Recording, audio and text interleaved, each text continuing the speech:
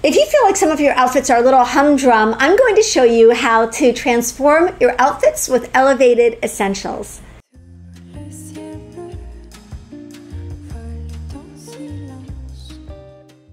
Hi, this is Nada. Welcome to my channel. My whole goal for this channel is to help you build a wardrobe and a style that you love so you look beautiful and feel confident every single day. I'm excited about the topic of today's video because I have shown you in the past many, you know, 50 outfits for summer, 50 outfits for fall, um, a lot of videos where I show outfits using wardrobe essentials. I even have a downloadable wardrobe essentials, fashion essentials over 40 wardrobe guide.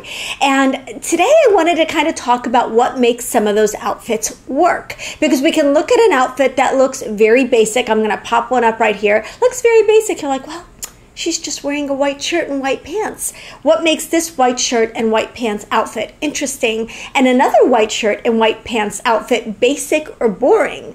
Uh, the difference is in the details. And today we're going to discuss those details and how to elevate your essentials so that every outfit looks incredible. So, when we talk about wardrobe essentials, they're often referred to as basics. But essentials don't have to be basic. They don't have to be plain or simple unless you choose to make them plain or simple.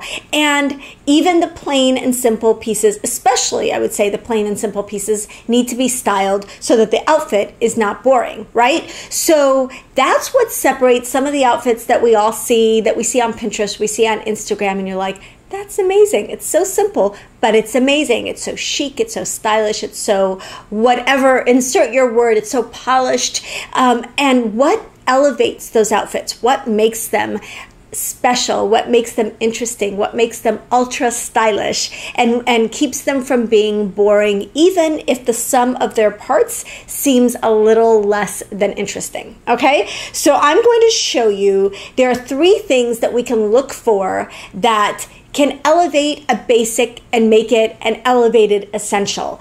And there are three details that we can tweak. So, for example, first outfit here, you're looking at a white tee and black uh, pants. So if you if if I told you this woman is wearing a white tee and black pants and no shoes, you'd think that's a really, really boring look. Um, or it could be a boring look, or it could be a basic look, or it could be a very minimal look.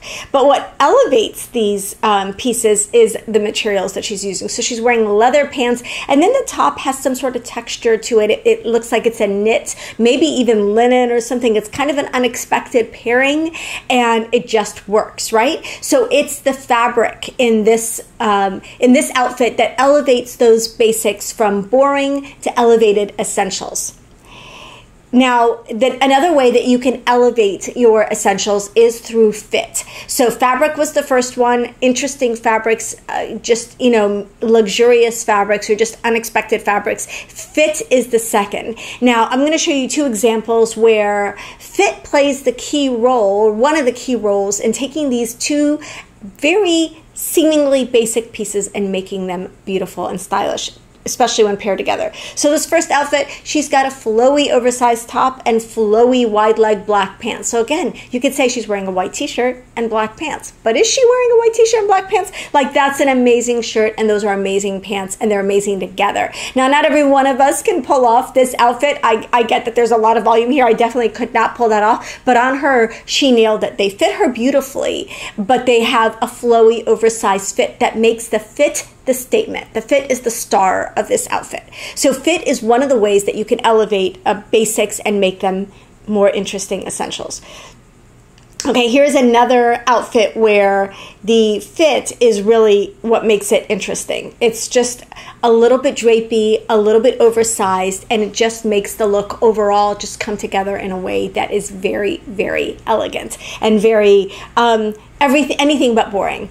The final detail that you can use to elevate your basics and make them elevated essentials and make them more interesting is your choice of details. Now, this first detail really does come down to fabric. This is a beautiful lace top with these really interesting and, and, and well fitted, well cut black pants. So, the lace top, the detail of the lace definitely takes this from being a basic to being an elevated piece, right? So, I'm kind of wearing a similar, similar, um, item today where I've got uh, something that could be a basic. It's a white top, and it's got, you guys have all seen this before, it's a Free People top. It's got these lace um, sleeves, and that makes it less than, um, more, more than a basic and more of an elevated essential.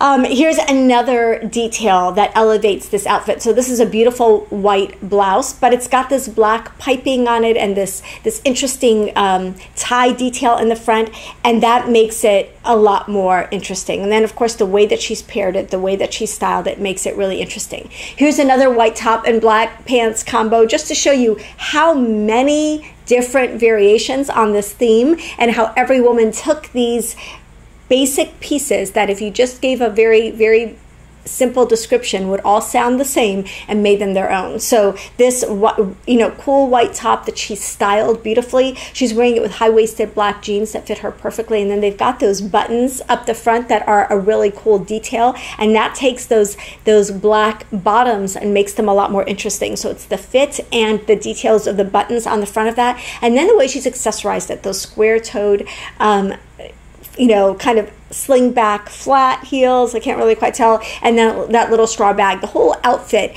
is very, very well thought out and intentional and well styled. So again, she's taking pieces that could potentially be basic and she's elevated them and made them essentials.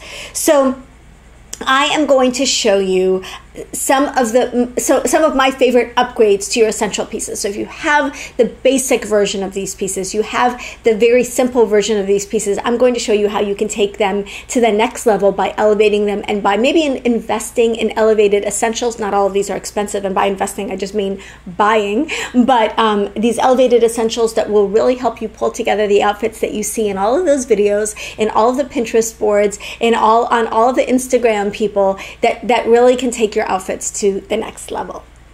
Okay, let's start with the most basic of basics that white button down shirt. So, this is a very basic, elegant but basic version. So my basic of basics is my Everlane white button down shirt. And when you're looking at a piece that's really this simple, the way to elevate that piece in an outfit is to pair it with interesting pieces or to style it in an interesting way, to tie it, to knot it, to tuck it, to accessorize it in a way that elevates it. Otherwise, if I wore this, you know, a, a very simple white button down menswear inspired shirt with very simple black basic pants, the entire outfit is going to look a little bit basic. So this particular version is from Lafayette 148. It's their Kennedy button down shirt. Again, it's a very elegant white button down shirt, but very, very simple. Now, if you want to take it up a little bit, this next version from um, Finley, it, their button down poplin top, it's colorless and it has these full sleeves. Um, but everything else about it is still simple. So it still has the versatility. You, it's still a button down top, so you can still wear it um, open. One of the things about a button down top that we love is its versatility. You can wear it open, um, you can you can tie it, you can knot it, you can tuck it, you can do all sorts of things with it. And keep in mind that the more details, the more interesting these button down tops become, the less versatile some of them become. So you want to find that balance between an interesting and elevated essential, but one that can also still be versatile if that's what you're looking for in a top. So sometimes it can pay to have, or it can make sense to have like a basic version and then a more elevated version, and then you have more uh, flexibility when you're putting together outfits. So this one is the yeah the Finley button down poplin top. Um, that's I think is beautiful. Now this one from Jill Sander, this is a very high end one, and it's a very basic silhouette. It's just a, a, a button down blouse.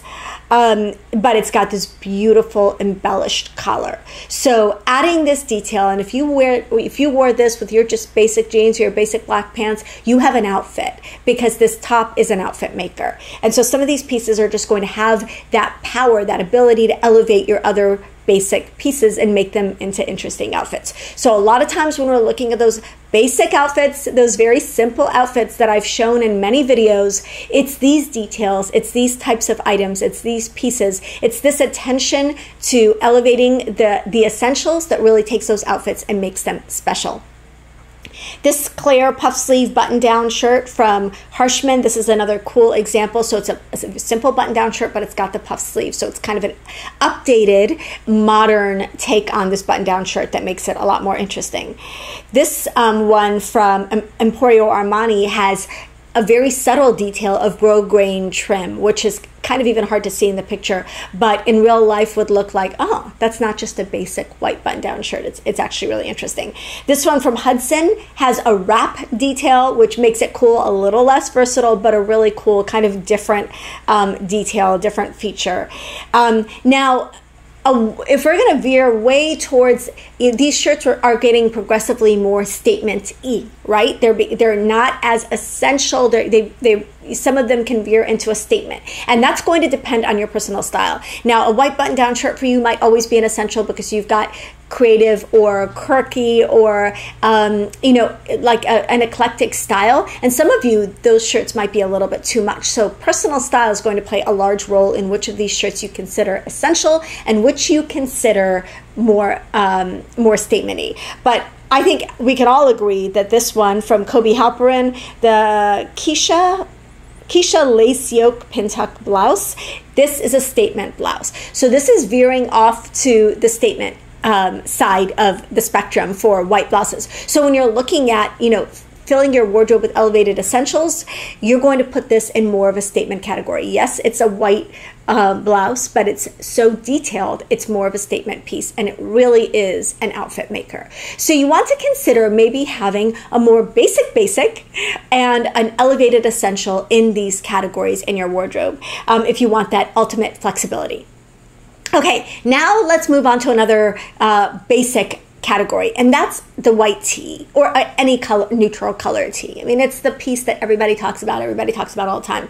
I do not like to wear white tees alone. I like to wear white tees with interesting pieces because my personal style is a little bit more eclectic, a little bit more creative. And when I wear a white tee alone, I kind of feel like it's a little bit boring. Like a white tee and jeans, some people pull that look off beautifully. For me, it just feels like it's missing something. So, I'm going to show you a white tee that I, I absolutely love and that I wear with my statement pieces. And this is the boxy semi-crop noble tee from Mott and Bow. I'm gonna pop my code up here. It's Nada. Um, you get a discount if you use that, and I I love this as my basic version of a tee. Now, what if we want to elevate the tee a little bit and we want to wear it in a simple way we don't want to have to zhuzh our outfits so that the basic tee looks less than basic then you're going to elevate your tee right you're going to pick a more elevated version of that top and this darcy tee from nation um, is beautiful. So it's got that beautiful, you know, V neck and that sleeve and the fit and everything about that tee elevates it a little so it does not look so basic, basic right? Um, and but it, at the same time, there's not so much detail that it's not as versatile, and you can't wear it in the same ways that you would wear a basic tee. You could almost do all the same things with this top that you could with a really basic tee. Um, here's another one also from Nation. Their organic cotton Cameron tee. This is a high neck that looks like almost like a, a turtleneck version of a tee, and it's sleek and chic. And this would be really great paired with some slouchier pants because it's going to offset that that volume. Um, now, another way to elevate that look, of course, um, is the basic silk cotton blend tee from Lily Silk. Now, this is the fabric elevating this piece, right? So it's a cotton silk blend. It's going to look a little more elevated. You can even go for a silk tee, which is going to look more like a blouse, of course. But again, that's an a nice and easy way to elevate this. Now this J. Crew one, broken in jersey puff sleeve t-shirt, it's got an interesting sleeve um, and that's going to elevate that basic tee look and just kind of make it a little bit more interesting. Now, let's go on to another category a tank. Now, these days, a tank is not the basic ribbed scoop neck tee, eh, tank that we all remember. They used to call the wife beater. I'm sure there's a very politically incorrect term right now, but it's more of a high-necked tank with like a kind of a, a cutaway sleeve. So this version, the new favorite tank in vintage rib, this is from J. Crew. This is what the current um, cool tank looks like. But this is a basic ribbed tank, right? So how can you take a, a, a tank and elevate that item if if that's what you want to do in your wardrobe. So this one um, is the skimming linen blend crew neck muscle tee or muscle tank is just essentially a sleeveless tee, and that's an interesting way to wear a tank. It's also interest. It's also a nice option if you want a little bit more coverage. A tank like that is a great option for that. Um, this one from Refine, I love this because it's a very seemingly basic silhouette, but it's got a square neck and that elevates it, it makes it a little bit more of a top than a tank almost, and it makes it um, a lot more interesting. Now, this one um, is from Lily Silk. This is a, a silk. It says they call it a silk camisole, but to me it looks more like a silk tank. It's like a sleeveless silk blouse, but it has that versatility of a tank, but it is more elevated. So especially if you're dressing for a professional capacity or you just want to elevate your your everyday outfit of, of jeans and a tank or shorts and a tank, something like this would be absolutely beautiful. So fabric elevating the the piece that can keep it very simple and still very versatile while also looking more interesting. Okay, let's move on to another category because I have a lot to cover. Um, the next category is black pants. Now, you can go for the basic black almost suiting pants, basic black work trouser or dress trouser. But unless you're in a very conservative setting or a very conservative workplace and you need that, or if you want a piece that's very versatile and you need that, then you can also consider um, upgrading or updating your basic black pants so that they're more interesting and that they're more outfit makers. So I'm going to show you a couple of examples of this. These are the L'Academie Leander trousers. This, the fabric and the fit, it's like a glossy, silky, almost looks like a charmeuse fabric, and then the beautiful fit make these anything but basic black pants. And if you're like me and you feel like you don't reach for the basic basics as much because you want your your your outfits to sing a little bit more, then then this could be a great option. These these are from Levi's, the flare leather pant, a flare faux leather pant. These are amazing. Obviously, faux leather, the fabric of those silky ones and the faux leather is what elevates those black pants, but also the fit and the cut. And that can be the only detail that you change. It could be a really cool fit, a really cool cut, and that's really going to elevate those black pants, right? Um, I love these the um, these high waisted trousers um, that have I mean, these are going to be a little bit harder to wear, so it depends on your body type. But these higher waisted trousers, um, it's the fit of these pants that makes them interesting. So putting those in a in an otherwise very simple outfit, the outfit's going to be interesting just by definition. Um, these are kind of um, uh, like a jogger, an elevated jogger style, um, and I love love love these Bauer pants. Um, and again, so it's the fit and the fabric on these that's making them more interesting. Now I've been look I've been eyeing these for a while style. I'm really tempted to get these. These are the Ripley Rader black ponte knit wide leg pants. Um, it's the fabric, it's the fit, it's the drama of those pants that makes them so, so interesting. So these are a piece that you bring into your wardrobe, and anything you wear them with is going to be elevated, right? Um, now, a little bit more of a basic version is this these from Everlane, the way high drape pant. Now this is the classic trouser that is everywhere this season. This is a key look for the season. It's this it's a kind of a high-waisted trouser with pleats. This is a little bit of a hard look to pull off. It is like I said, classic but trendy this year. And so, if you're interested in a trouser pant that is simple but also still interesting, this is a nice option from Everlane and not super expensive. Okay, the next category I want to talk about is the basic black pump, or in some cases, the not so basic black pump. So, I'm going to show you a few that I think are um, you know basic and we're going to go through the spectrum right? So the the first pair i want to show you is you know i'm a sarah flint brand ambassador. I'm obsessed with their pumps. I recently wore the perfect pump 100 so the highest version of the perfect pump for 12 solid hours on my feet and i was totally totally comfortable. I'm going to pop my coat up here so you can use that. But this is their Perfect Pump 50. So this is their kitten heeled version of that pump. Very, very comfortable pump. Very simple, very classic, very streamlined pump, right? Now what if you're like, but I don't want I don't want it to be super simple. I want a little bit more of an interesting pump. So one of the easy ways that you can make a pump more interesting is, is a detail called the d'Orsay detail, which is basically where you're cutting out the sides of the pump.